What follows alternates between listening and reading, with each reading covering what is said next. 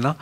और इस वक्त हमारा वो वाला सेगमेंट शुरू होने जा रहा है कि जिसके आप मुंतज़र होते हैं और हम लोग भी बहुत मुंतज़र होते हैं क्योंकि बहुत सारे सवाल ऐसे हैं जो हमारे जहन में होते हैं और वो हम अपने जैद कराम का जो हमारा पैनल है, जो रोज़ाना यहाँ पर मौजूद होता है बारान रहमत में तो उनसे कोई ना कोई टॉपिक डिस्कस करते हैं। आज जो हमारा टॉपिक है, वो है यकीनन जन्नत। और जन्नत के बारे में हर कोई जानना चाहता है जन्नत के बारे में, हर कोई जानता है, सब ये जानते हैं कि अगर हम अच्छे अमाल करेंगे तो इन हम ज़रूर जन्नत में पहुँचेंगे जहाँ पे ना कोई बीमारी है जहाँ पे ना कोई खौफ है जहाँ पे बे इंतहा आपको अल्लाह ताला की तरफ़ से एक से एक नेमतें अता होंगी। लेकिन ये सब हम मालूम करेंगे अपने उलम कराम से और पहले हम इंट्रोडक्शन उनका करा दें हमारे साथ। हमारे हर दिल अज़ीज़ मुफ्ती इकबाल नक्शबंदी साहब मौजूद हैं। असल कैसे मिजाज आपके? और इसके अलावा हमारे बहुत ही प्यारे अल्लामा जवाद आबदी साहब अस्सलाम वालेकुम कैसे मिजाज आपके?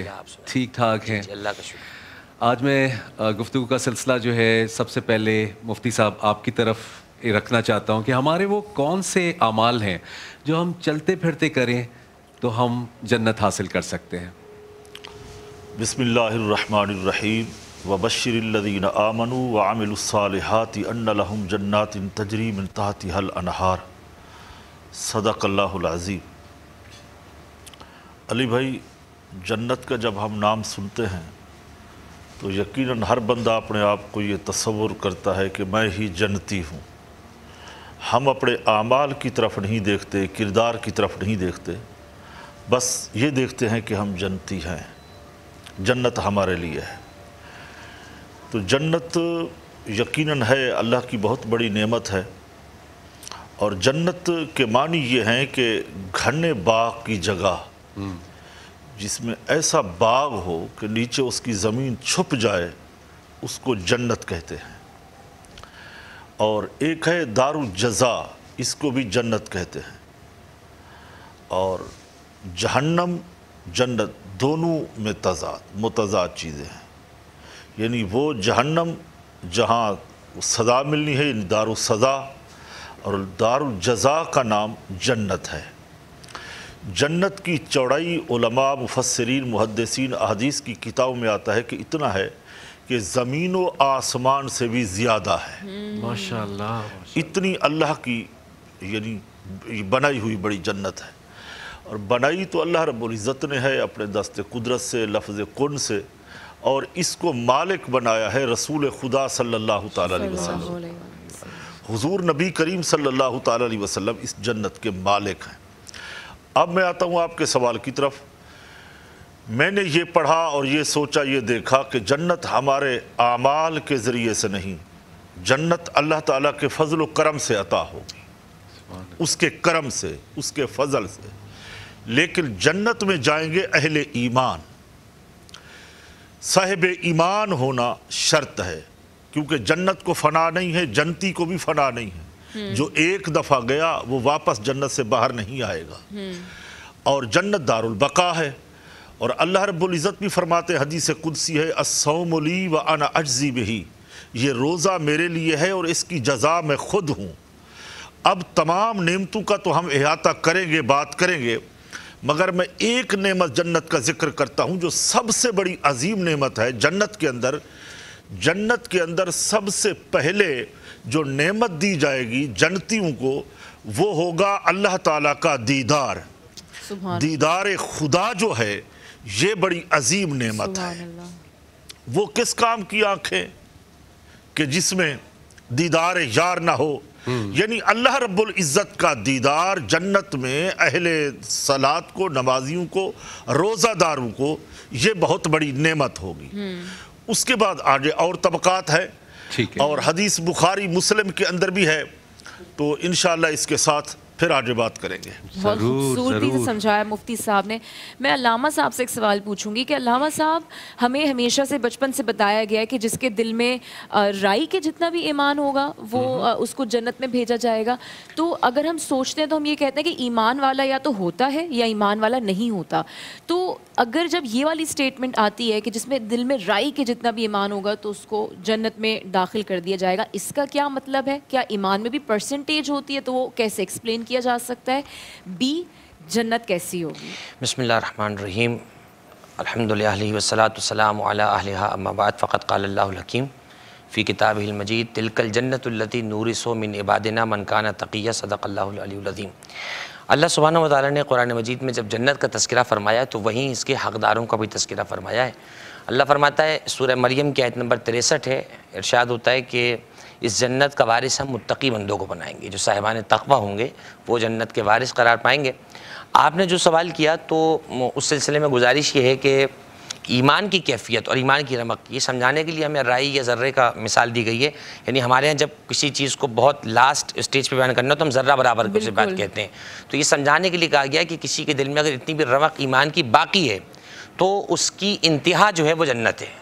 यानी वो अगर ईमान उसके दिल में बाकी है, जो ज़रूरी ईमान की चीज़ें अगर वो उसके दिल में मौजूद हैं तो वो जहन्नुम में नहीं जाएगा।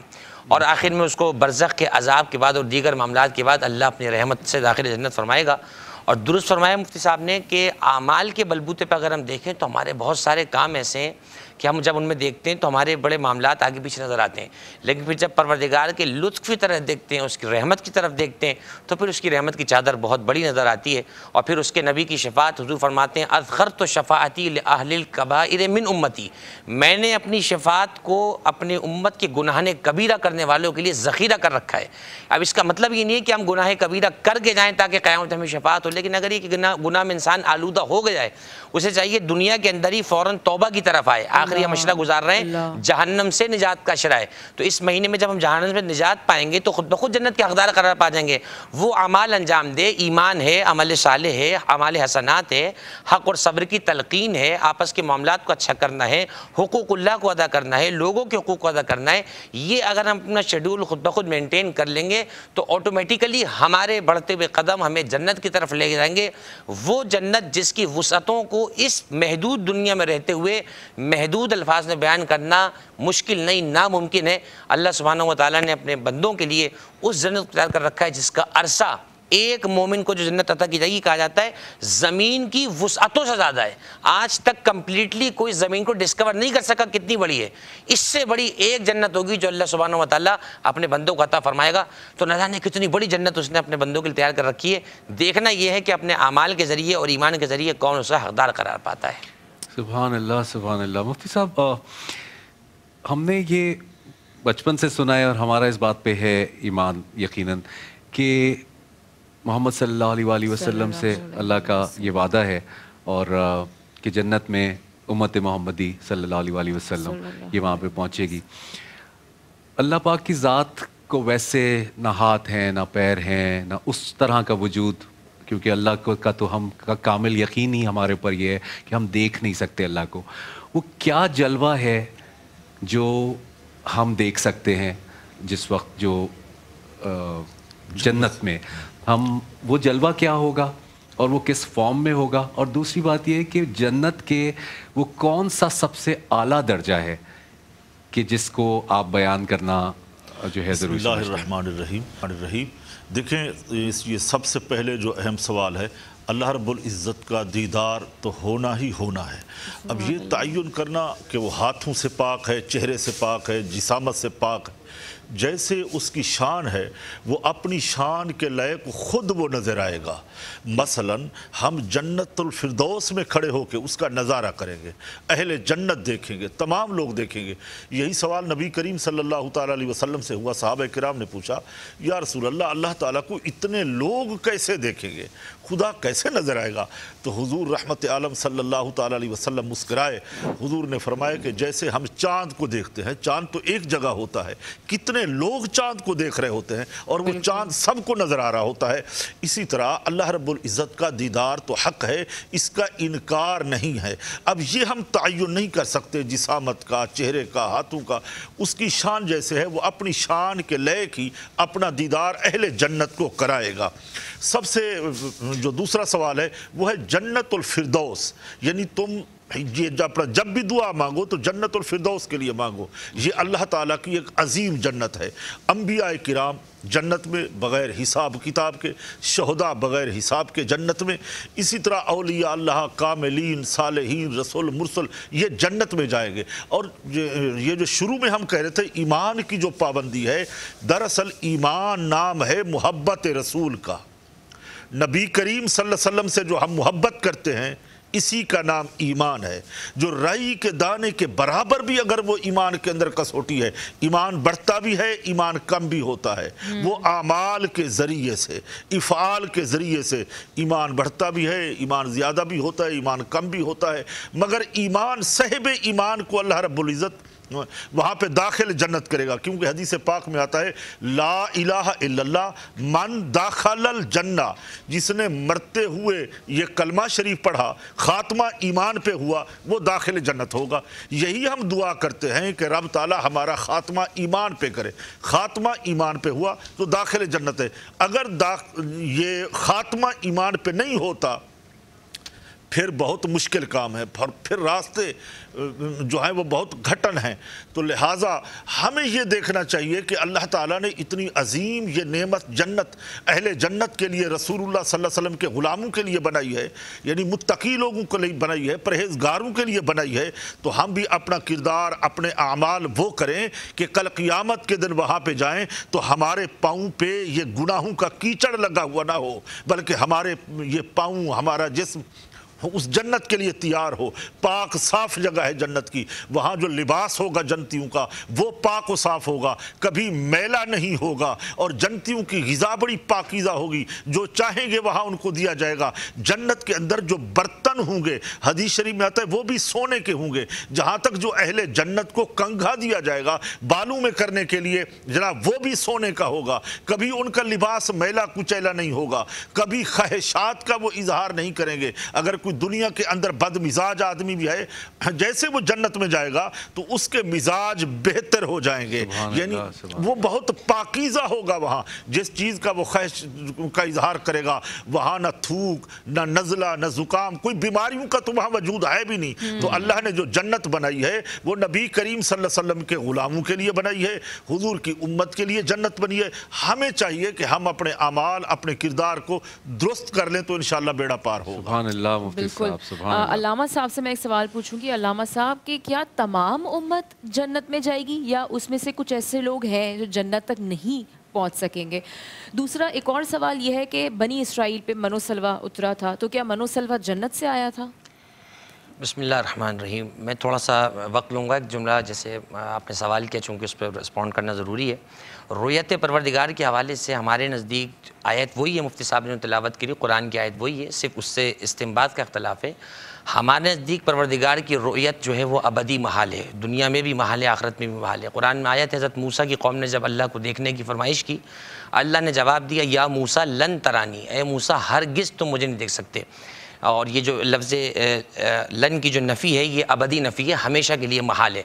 फिर इस पर दलाइल दिए कि किसी को देखने के लिए जहत का होना ज़रूरी है। मसलन आपको कौन ली भाई, मुझे देखें तो मैं इधर होंगे तो मुझे देखेंगे ना, मैं हूँ पीछे, मैं आपसे कह रहा हूँ, इधर देखें। ये कहना कि अल्लाह अगर नज़र आएगा तो उसके लिए जिहद का मुन करना लाजिम आएगा और अल्लाह जिहद में मुन नहीं हो सकता। इस आयत की तफसीर मौलमा लिखा सूर क़यामत के नंबर पच्चीस और छब्बीस है। वजूहन योम इदिन बाजरतन इला रब नाजिरतन। आयत यही है कि कुछ चेहरे होंगे जो अपने रब की तरफ़ देख रहे होंगे। आयत यही है। लेकिन इसकी तफसीर में मासूम ने अरशाद फरमाए इमाम अली रज़ा का फरमान तफसीर में मौजूद है कि इसका मतलब है, इला सवाब रब नाजिरतन। कुछ चेहरे होंगे जो अपने रब के सवाब के मुंतजर होंगे। क्योंकि नज़र जब हम कहते हैं तो नज़र खालिस्तन हमेशा देखने को नहीं कहते। नज़र करना किसी चीज़ की तरफ़ मुतवजह होने को भी कहा जाता है। तो ये बहरहाल अपने मुकाम पर एक जुमला था जो बयान करना ज़रूरी समझा। आपने सवाल ये किया कि जन्नत में कौन लोग नहीं जा पाएँगे? यकीन जो साहिबान ईमान नहीं है, जो दुश्मनान पैगंबर हैं, जो दुश्मनान हक़ हैं, जो दुश्मनान अहल वैत हैं, यकीनन परवरदिगार आलम ने जन्नत को उनसे दूर कर रखा है। और बल्कि तफसीर कशाफ में अलामा जमकशरी ने तो रिवायत की लिखी है कि मा ताला बुग्ज़ आल मोहम्मद मा तलम शुम राहतलजन्ना अला खमसीन में तसनत आम। खमसी अला मसीरत खमसा में आम। पाँच सौ साल के फासले से जितनी खुशबू दूर से आनी होगी ना उतनी दूर से भी वो खुशबू जन्नत की नहीं सूंघ सकता है। तो अल्लाह हम सबको ईमान के साथ रसूलुल्लाह की इतात और मोहब्बत और उनकी पैरवी के साथ और अहलवैत की इतात और मोहब्बत के साथ हमें जन्नत तक इन पहुँचाए। दूसरी बात आपने पूछा खाने। बेतहाशा जैसे मुफ्ती साहब ने बयान फरमाया हद तक ये है कि जन्नती जो चाहेगा उसी वक्त उसके सामने हाजिर हो जाएगा। यानी यहाँ जो हम कहावतन कहते हैं ना, दूध की नहरें बहना, वहाँ अगर वो चाहेगा, वो फ़ौरन उसके कदमों के नीचे से जन्नत की, दूध की नहरों को जारी कर जाएगा। मनु सलवा, आपने जो पूछा तो इमाम सादिक इस्लाम की रिवायत मौजूद है कि पूछा गया, मनु सलवा क्या था? फरमाया, एक भुना हुआ परिंदा था और जन्नत की कुछ रोटियाँ थीं जो अल्लाह ने हज़रत मूसा की कौम पर नाजिर की थी। और जब ये लालची होगा ये खाने को उठा उठा के दस्तरखान से चुराने लगे तो फिर अल्लाह ने उठाना इन पर से बंद कर दिया। तो मनु सलवा जन्नत की गज़ाओं में से, बल्कि इससे अला तरीन गज़ाओं में से अल्लाह ने जो है वो हद तक रिवायत ने भुने हुए परिंदे खाना पीना दूध की नहरें और न जाने क्या क्या परवरदिगार ने अपने चाहने वालों को तैयार कर रखा है ये सब कुछ हक है। लेकिन इस तक पहुँचने के लिए मेहनत हमें इस दुनिया में करनी है। ये रमज़ान का महीना ये रियासतें ये तकवे की मश्क और ये ईमान की जो यूँ कहिए कि हमारे साथ एक अमल है ये इसीलिए ताकि हम अल्लाह की उन तमाम नेमतों को पहुँच सकें जिनका वादा भी हक है जिनका होना भी हक है। बस हमें चाहिए हम अपने को कैपेबल करें कि हम उन तमाम को अवेल करने के लिए लायक और काबिल बन जाएँ बस। बिल्कुल। सुबह अल्लाह साहब बहुत बहुत शुक्रिया। आपने बहुत खूबसूरत बयान किया। मुफ्ती साहब आपसे मेरा ये सवाल है कि एक तो आपने जन्नतफरदौस जो आला मकाम है, जिसमें अम्बिया कराम हैं, पैगंबर हैं, औलिया अल्लाह हैं शहदा हैं, इनके जो दर्जात हैं, वो कितने हैं? और किस हिसाब से ईमान वाला कौन सा होगा कि वो उन दर्जात में? और क्या एक दर्जे में अगर आप एक एक स्टेप पे गए हैं तो क्या उसमें भी कुछ सालों के बाद या कुछ अरसे के बाद आप वो सफ़र तय कर सकते हैं? बिसमीम देखिए जन्नत के जो हैं वो आठ तबक़ात हैं जो हदीसों में आता है जन्नतफरदौस जन्नतमावा तो जन्नतनईम इस तरह के। और फिर जन्नत के अंदर नहरें हैं तहती हल अनहार कुरान ने फरमाया कि वहाँ पे नहरें हैं दरिया नहीं है। दरिया जो है वो टेढ़ा होता है बदसूरत होता है। नहर खूबसूरत होती है। और हम्म। छोटी वो नाली भी नहीं है बल्कि खूबसूरत नहर यानी वहाँ चार नहरें हैं। वो चारों नहरें हौज़ कौसर से ही जारी होती हैं। एक नहर का नाम, वहाँ पे वो पानी होगा, दूसरी नहर शहद की होगी, तीसरी दूध की होगी और चौथी शराबन तहूरा की होगी। ये चार नहरें। अब तबक़ात आठ हैं जन्नत के तो उसमें अलग अलग जनतियों को रखा जाएगा। अब नबी करीम सल्लल्लाहु अलैहि वसल्लम की एक हदीस है, बुखारी शरीफ में हज़रत सैद अबू हुरैरा रज़ी अल्लाह तु फरमाते हैं कि रसूल खुदा सल्लल्लाहु अलैहि वसल्लम ने इरशाद फरमाया कि जन्नत में एक दरख्त है। उसका साया इतना ज़्यादा है कि अगर सौ साल तक एक सवार, घुड़सवार तेज़ी के साथ चलता रहे तो सौ साल तक वो सफ़र ख़त्म नहीं होगा। जब जन्नत के एक दरख्त की वसात ये है बुलंदी ये है तो फिर आज आप खुद अंदाज़ा करें कि खुदा की बनाई हुई जन्नत कितनी लंबी है। फिर उसमें पाँच पाँच सौ साल तक का जो है ना वो सफ़र है। यानी ये ये इस ज़मीन से लेके पहले आसमान तक का जो सफ़र है ये पाँच सौ साल का है। इसी तरह वहाँ भी जन्नत के जो अंदर मकामात हैं उनके सफ़र भी ऐसे हैं। तो जो जिसके आमाल अमाल जिसके दर्जात होंगे, हर हर उमती को, हर कलमा गो को, साले को, उसके दर्जे के मुताबिक उसका महल दिया जाएगा। हाफिज कुरान का अलग होगा कारी कुरान का अलग होगा, सालहीन का अलग होगा। नबी करीम सल्लल्लाहु अलैहि वसल्लम आप अपनी अजवाज के साथ रहेंगे। इसी तरह हसनैन करीमैन आप अपने अहल बैत के साथ रहेंगे। इसी तरह उलमा ने लिखा, हज़रत फ़ातमत ज़हरा सलाम हज़रत मौला अली करम करीब के वहाँ साथ वो अपने बंगले में जो जन्नत में अल्लाह रबुल्ज़त उन्हें अता फ़रमाएँगे, उनमें रहेंगे। तो लिहाजा ये दुरुस्त है, जन्नत का इनकार जो है वो कुफ्र है, क्योंकि ये नस कुरान से साबित है। अगर हम इसका इनकार करें और इस लालच में भी इबादत नहीं करें कि जन्नत मिल जाए, बल्कि अल्लाह की रज़ा को हासिल कर लें तो जन्नत तो खुद ब खुद मिल जाएगी। फिर नबी करीम करीम सल्लल्लाहु अलैहि वसल्लम ने ये दुनिया में रहते हुए भी अपने गुलामों को जन्नत दी अशरा वशरा को जन्नता फरमाई, हसनैन करीमैन को जन्नत के नौजवानों का सरदार बनाया, हज़रत अबू बकर, हज़रत उमर को, ये बुज़ुर्गों का, बूढ़ों का सरदार बनाया, ये तमाम अहदीसें सियासता के अंदर मौजूद हैं। तो नबी करीम सलाम कल क़ियामत के दिन शफात का दरवाज़ा खोलेंगे और हुजूर अपनी जबीन नियाज सजदे से उठाएँगे। अल्लाह इतना देगा इतना देगा, वाला सऊफ़ी का रब्बू का फतरदा कि जितना हुजूर राज़ी होंगे, अल्लाह देता जाएगा। और फिर अल्लाह फरमाएगा, इरफा रासा का या मोहम्मद।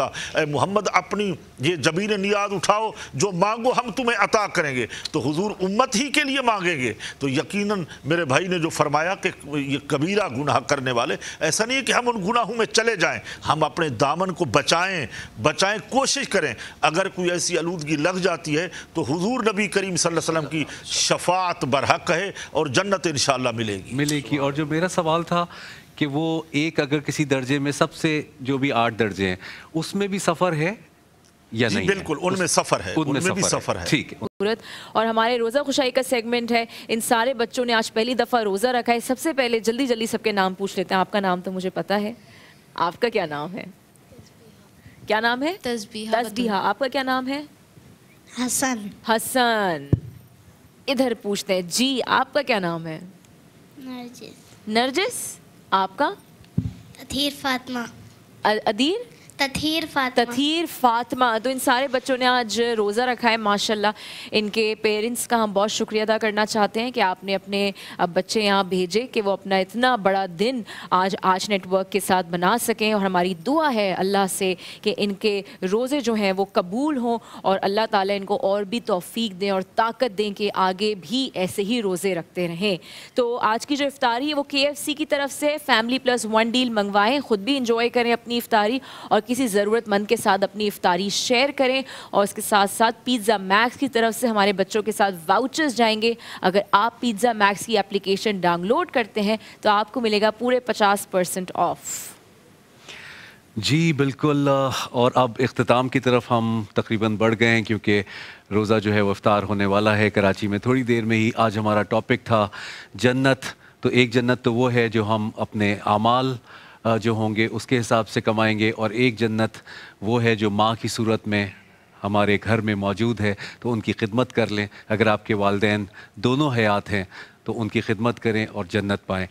कोई हमसे कोताही हो गई हो, कोई गलती हो गई हो तो दरगुजर कीजिएगा। मुफ्ती इकबाल नक्शबंदी साहब, आपका बहुत शुक्रिया और मैं दुआ के लिए दरख्वास्त करूँगा आज। अल्लाह जवाद आपदी साहब से।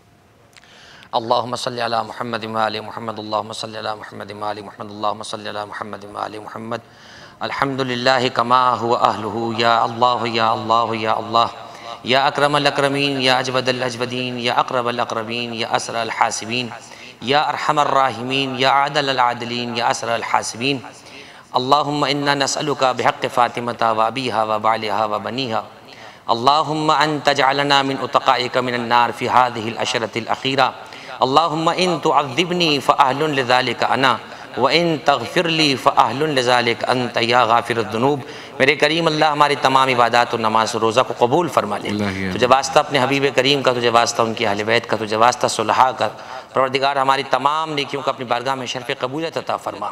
हमारे चैनल को दिन दुगनी रातों की तरक्याँ इनायत फरमा। परवरदिगार जो कुछ कहा सुना पढ़ा उस पर अमल करने की तोफ़ी अता फरमा। बारिला मुल्क पाकिस्तान पर रहम करम नाजिल फरमा। हमारी अफवाज की हिफाजत फरमा। परवरदिगार तमाम उम्मत मुस्लिमा की खैर फरमा। मजलूमों की नसरत व हिमायत फरमा। महशर में अपने हबीब की शफात नसीब फरमा।